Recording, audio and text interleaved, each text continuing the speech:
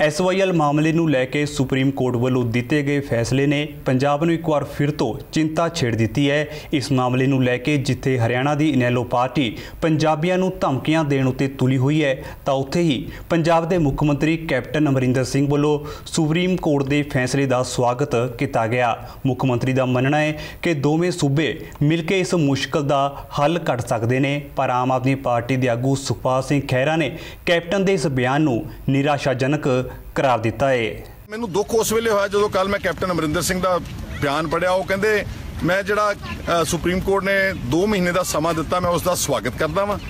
ਅਸੀਂ ਹਰਿਆਣੇ ਦੇ ਨਾਲ ਬੈਠ ਕੇ, ਅਸੀਂ ਕੇਂਦਰ ਨੂੰ ਮਿਲ ਕੇ, ਅਸੀਂ ਇਹਨਾਂ ਇਸ ਪਾਣੀ ਦਾ ਮਸਲੇ ਦਾ ਹੱਲ ਲੱਭਾਂਗੇ। ਜੇ ਬੈਠ ਕੇ ਹੀ ਮਸਲੇ ਦਾ ਹੱਲ ਲੱਭਦਾ ਹੁੰਦਾ, ਤਾਂ ਫਿਰ 1982 ਦੇ ਵਿੱਚ ਕਪੂਰੀ ਨਹਿਰ ਦੇ ਉੱਤੇ ਮੋਰਚਾ ਨਾ ਲਾਇਆ ਜਾਂਦਾ। ਜੇ ਬੈਠ ਕੇ ਮਸਲੇ ਦਾ ਹੱਲ ਲੱਭਦਾ ਹੁੰਦਾ, ਤਾਂ ਹਜ਼ਾਰਾਂ ਨੌਜਵਾਨਾਂ ਦੀਆਂ ਜਾਨਾਂ ਪੰਜਾਬ ਦੇ ਵਿੱਚ ਨਾ ਜਾਂਦੀਆਂ, ਬੇਕਸੂਰ ਲੋਕਾਂ ਦੀਆਂ ਜਾਨਾਂ ਵੀ ਪੰਜਾਬ ਦੇ ਵਿੱਚ ਨਾ ਜਾਂਦੀਆਂ। ਇੰਨਾ ਸੁਖਾਲਾ ਹੱਲ ਨਹੀਂਗਾ ਔਰ ਇਸ ਲਈ ਜਿਹੜਾ ਮੈਨੂੰ ਸਾਰੀ ਗੱਲ ਨਜ਼ਰ ਆ ਰਹੀ ਹੈ ਕਿ ਕੈਪਟਨ ਅਮਰਿੰਦਰ ਸਿੰਘ, ਜਿਨ੍ਹਾਂ ਨੇ ਕਿਸੇ ਵਕਤ ਬਹੁਤ ਸਟੈਂਡ ਲਿਆ ਸੀਗਾ 2004 ਵਿੱਚ termination of waters agreement act pass ਕੀਤਾ ਸੀਗਾ। ਸਾਰਾ ਕੁਝ ਉਹਨਾਂ ਨੇ ਛਿੱਕੇ ਤੇ ਟੰਗਤਾ ਸੀ। ਉਸ ਵਕਤ ਦੀ ਉਹਨਾਂ ਦੀ ਜਿਹੜੀ ਕੇਂਦਰ ਦੀ ਕਾਂਗਰਸ ਹਾਈ ਕਮਾਂਡ ਸੀਗੀ, ਡਾਕਟਰ ਮਨਮੋਹਨ ਸਿੰਘ ਨੂੰ ਵੀ ਇਗਨੋਰ ਕਰਤਾ ਸੀਗਾ।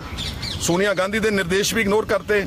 ਆਪਣੀ ਕੁਰਸੀ ਨੂੰ ਖਤਰੇ 'ਚ ਪਾ ਕੇ ਉਹਨਾਂ ਨੇ ਇੱਕ ਅੱਛਾ ਕਦਮ ਚੁੱਕਿਆ ਸੀ ਜਿਸ ਨਾਲ ਤਕਰੀਬਨ ਅ, 17 18 ਸਾਲ ਜਿਹੜੇ ਨੇ ਉਹ ਪੰਜਾਬ ਦੇ ਪਾਣੀਆਂ ਦੇ ਨਿਕਲ ਗਏ। ਲੇਕਿਨ ਅੱਜ ਜਿਹੜਾ ਕੱਲ ਉਹਨਾਂ ਨੇ ਇਹ ਸਵਾਗਤ ਕੀਤਾ ਤੇ ਅੱਜ ਵੀ ਅਖਬਾਰਾਂ ਤੁਸੀਂ ਸਾਰੀਆਂ ਪੜੋ ਉਹ ਪ੍ਰਧਾਨ ਮੰਤਰੀ ਮੋਦੀ ਦੇ ਕੋਲ ਮਿਲਣ ਲਈ ਪਹੁੰਚੇ ਹੋਏ ਨੇ ਉਹਨਾਂ ਨੂੰ ਗੁਲਦਸਤਾ ਦੇ ਰਹੇ ਨੇ।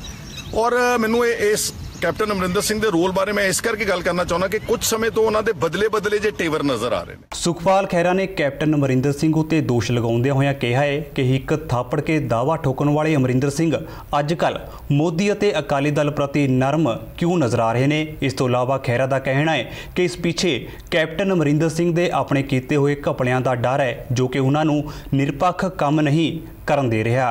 ਕੈਪਟਨ ਅਮਰਿੰਦਰ ਸਿੰਘ ਤੇ ਬੀਜੇਪੀ ਮੋਦੀ ਦੀ ਗਵਰਨਮੈਂਟ ਦੇ ਨਾਲ ਬਹੁਤ ਅੱਛੇ ਟੇਵਰ ਨੇ। ਕਈ ਵਾਰ ਉਹਨਾਂ ਦੀ ਪਾਰਟੀ ਵਿੱਚ ਖਦਸ਼ੇ ਪੈਦਾ ਹੋ ਰਹੇ ਨੇ ਕਿ ਕਾਂਗਰਸ ਵਾਲੇ ਸੋਚ ਰਹੇ ਨੇ ਕਿ ਕੈਪਟਨ ਅਮਰਿੰਦਰ ਸਿੰਘ ਮੋਦੀ ਨਾਲ ਇੰਨਾ ਨਰਮ ਕਿਉਂ ਆ? ਨਰਮ ਦੋਸਤੋ ਸਿਰਫ ਇਸ ਕਰਕੇ ਆ ਕਿਉਂਕਿ ਉਹ ਜਿਹੜੀ ਬ੍ਰਿਟਿਸ਼ ਵਰਜਨ ਆਈਲੈਂਡਸ ਤੋਂ ਜਿਹੜੀ ਸ਼ਿਕਾਇਤਾਂ ਆਈਆਂ ਔਰ ਜਿਹਦੇ ਆਧਾਰ ਦੇ ਉੱਤੇ ਲੁਧਿਆਣਾ ਦੀ ਅਦਾਲਤ ਨੇ ਇਨਕਮ ਟੈਕਸ ਮਹਿਕਮੇ ਦੀ ਕੰਪਲੇਂਟ ਤੇ ਇਹਨਾਂ ਦੇ ਖਿਲਾਫ ਮੁਕੱਦਮਾ ਚਲਾ ਦਿੱਤਾ ਵਾ।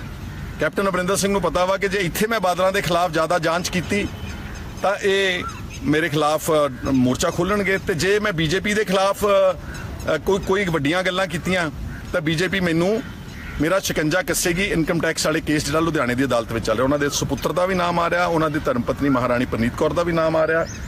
ਇਸ ਲਈ ਕੈਪਟਨ ਅਮਰਿੰਦਰ ਸਿੰਘ ਨਾ ਮੋਦੀ ਦੇ ਨਾਲ ਤੇ ਨਾ ਬਾਦਲ ਦੇ ਪਰਿਵਾਰ ਦੇ ਨਾਲ ਕਿਸੇ ਤਰ੍ਹਾਂ ਦਾ ਕੋਈ ਫਰੰਟ ਖੋਲਣਾ ਚਾਹੁੰਦੇ ਨੇ।